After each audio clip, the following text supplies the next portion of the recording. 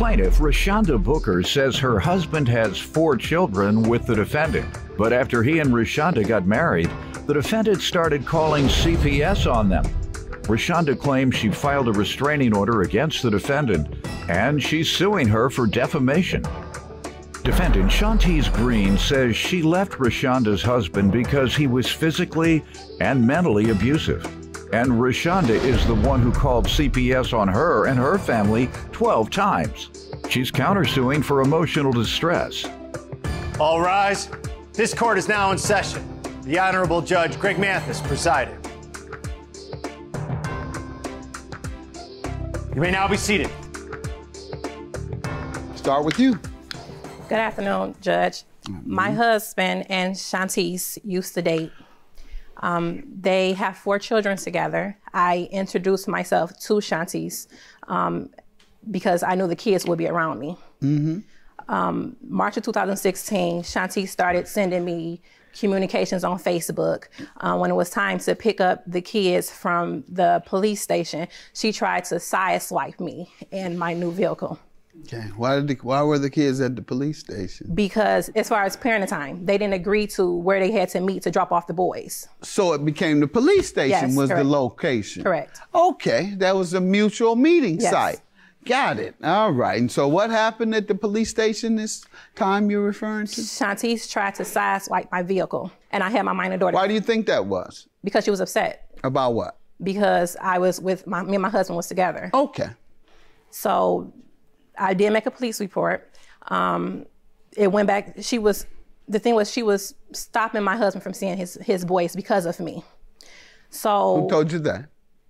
she stated in court. It's been plenty of okay. times that it's been said she in court. stated in court. Yes. Mm-hmm. So I ended up getting a protection order against Shantice. She was right. found in violation of the protection order because um, she was still sending communications. She was she sent her sister to try to fight me, and I do have the protection order if you would like to see that yep. as well. Please.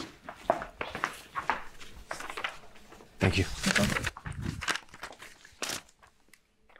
Okay, this is Detroit 36th District Court, yes. where, where I sat as a judge. All right. She was fined for in regards to the violation. Um, then she started. It just became Child Protective Service came in, came. Um, in How the did they get involved? Because Shantice contacted Child Protective Service on numerous occasions. Saying what? Saying that my my minor daughter had sexually assaulted my stepson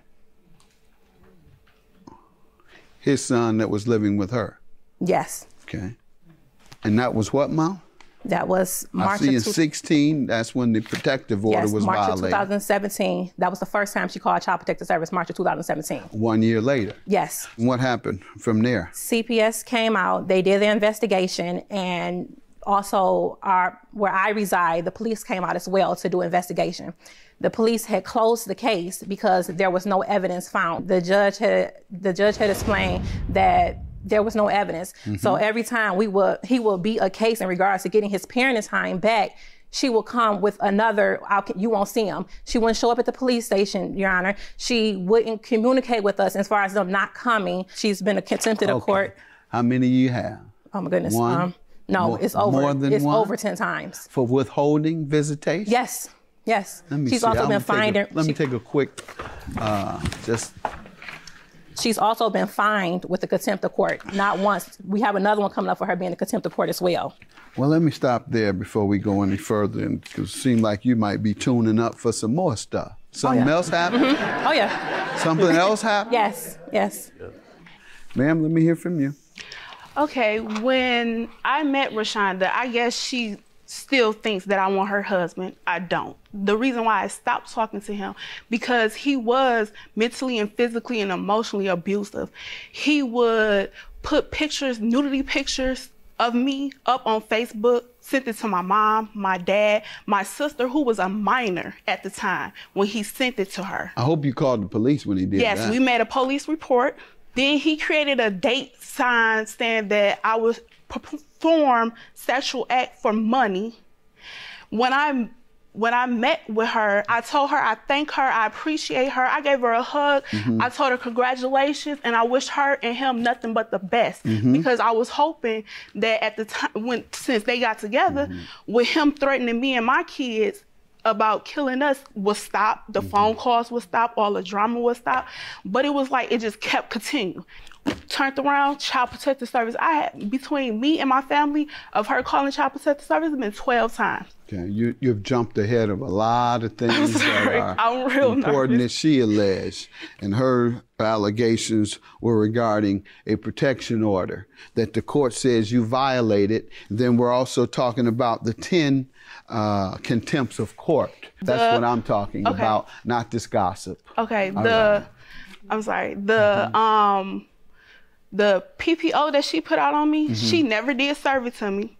And at the time, I was working and I was out of town. I was in mm-hmm. Ohio, mm-hmm. where and she. You never knew of it. I never knew of you it. Never appeared in court. I appeared in court. Well, then you knew of it. Move no, on. I didn't. No, I didn't. How do know. you appear and not know? Tell me about these contempts. The contempts yeah. happened mm-hmm. because mm-hmm. her daughter was touching on my son. No, she said, I have contempt for withholding visitation. Is this what this is? Yes. Is that what this is for? Withholding visitation? Yes, and that's why we hold my children because my son came to me. At, what at what what uh, month and year did he come to you? He came to me of March the 26th when he came back. Of what year?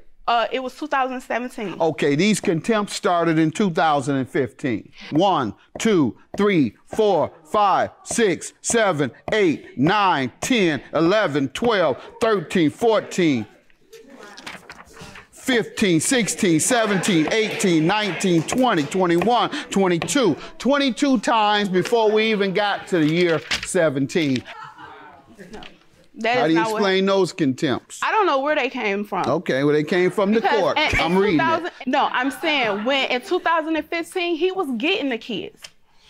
Man, when he started making, I'm going his, with I believe the court okay. over you.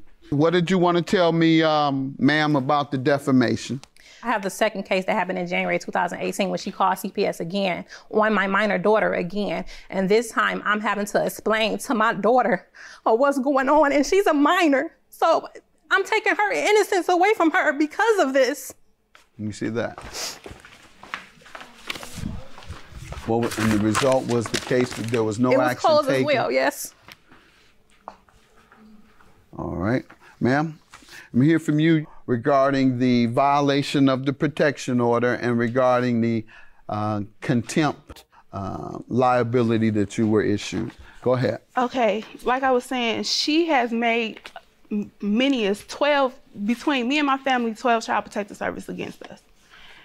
Saying that the kids don't eat, the kids are getting beating, the house is dirty, um, just any and everything that she can make a 12 she filed 12, 12 complaints yes. what was the result of the 12 they closed all of them and you made two toward her so far so with and with, you've made 12 no. toward on her no. how many did you, how I, many times did you report her to cps the hospital and i have it i have their hospital records the hospital called um, CPS on her because her boyfriend. Did you no, ever call no, CPS? No. Do you have evidence of her calling? It was a voice recording of her. A what? A voice recording. A voice? Recording of her husband saying, We're calling Child Protective Service. The- he was reporting you, not that she. So let's move on. What else do you want me to know other than she filed 12 reports against you? Well, maybe you have the, you have the I, conclusions. Yes, I you have, have 12 the... conclusions, right? Yes, and I have. All right, 12 dismissals? Yes. Let's see. Ma'am, she said she's finna show me 12. No, not. That's not 12 of them. Those no, are. Well, the, give me 12, ma'am. You said you had 12. The other ones was in my family's name, not in my name. So I couldn't get them because it has to be in my she name. She reported your family, you're saying. Right, but she. What like, did she say about your family? What did she say your family did basically she said that they're they're not they're beating on the kids my sister is touching on my son my son goes to therapy now he vented to his therapist about him getting touched on mm-hmm. i have that and you showed that to cps yes how did they, they respond talk, they talked to the uh, child protective service uh-huh. lady i mean to the uh, therapist, the therapist lady and basically, what they told me was that since he is not giving dates, months, and years of when it's happening, he's just combining everything together. Your child. Yes. Mm-hmm. That it's not strong enough. They don't know, he's not disclosing enough information mm-hmm. for, them, them to go. Action. Yes. When I took my son, because I had to take all the kids mm-hmm. to the children's hospital, all the doctors talked to him and they called and made a complaint also because you have their reports saying that they believed that no, it happened. When, when I talked to Child Protective Service, no, no. Do you have a no, doctor's report no, saying doctor's we believe? Do you have something from CPS then yes. that says the doctors told us? No, she. Okay, I know you don't. All right, so um, your. Uh, counterclaim for three thousand is for what? How does she cause you emotional distress? Because of what the child protective service saying that where my kids was going to get washed at night for me to go to work, that ended up causing me to lose my job because they couldn't go where they was getting washed at because she accused my sister of touching my son. And then she also constantly Okay, so what does she get for you accusing her? Did she get her three thousand? We can break even then. What I said was true. Yours was false? Not at all. She says hers is true. She certainly has shown me information about um, your activity that was detrimental and found to be liable, and you were punished for. Now, that doesn't have anything to do with the defamation, however, ma'am. So give me the uh, uh, actual defamation. Tell me and prove okay. it. Okay, I feel as though the defamation is I let everything go. I wanted to live my life. I had my baby in January 2018. That's when she called Child Protective Service. You have the paperwork where Child Protect, no, the detective put on there that the, she feels as though the boys was coached. It's in there. I have that? Yes, she just gave it to you. It's the Child Protective Service report. I believe it's on page 11. Okay. If I have it too. Ma'am, do you have a report the same? Have you read that or you going to play crazy and say you haven't read that? I you read not, that. I have not seen that. I told but you that. no, they. I told you to say that. They they said it to my mom when she took the kids to children's center oh, that they was like but I didn't see it in the letter. It. I didn't see it in the letter. Oh, you were told, but you didn't read it. No, I didn't see it. Okay. The when the child, when the child protective service people come out, we never. Has anybody found? Has anybody found her liable of anything that you alleged that she did? No, because I haven't had. When we go to court, it's me and her husband going to court for our children. Okay. It's never me and her for nothing. They got more than one court. We just never went. You never petitioned it. No, I never yes, did. you did I, go. I was going. You did for, go. You went for the protective orders. I was. You went for 22 contempt orders. Right. The same person who do us for the defamation, the ma'am. It's the CPS uh, investigation. No, not just that. What? I let it go. She posted on Facebook a status about my daughter, and she named me as well. My kids do not go over there with their father because your daughter loves touching on them and places. This is, what's your defense to this, ma'am? Yes, I did post that. And the reason that I post that was because Rashonda ended up texting some texting a guy that I used to talk to wife uh, talking about my son. Mm-hmm. And I have that proof right here. It's texting one on one? Yes. All right. You went public, told the entire public. I never mentioned her daughter's name at all. you mentioned her name, and if people know she has a daughter and you mentioned her name, your counterclaim is for what again? Because you we're finished with defamation. Okay. You're liable for that she has also did the same thing. She has posted pictures of my kids and talking about me. Saying what? She said our our she said our baby mama said our boys don't like coming over, but just can't fake these smiles no matter what you try. These boys love us. That you have no power over us. I'm going to conclude yours is not defamation nor emotional distress. Kids, your claim is dismissed and yours is granted. You have Thank a very clear case of defamation. Bye bye. Have a good day. Our kids shouldn't be involved with uh, doing between me what me and her go through. She's doing all this because she's bitter that my kids love my wife. My kids, my kids attend to my wife.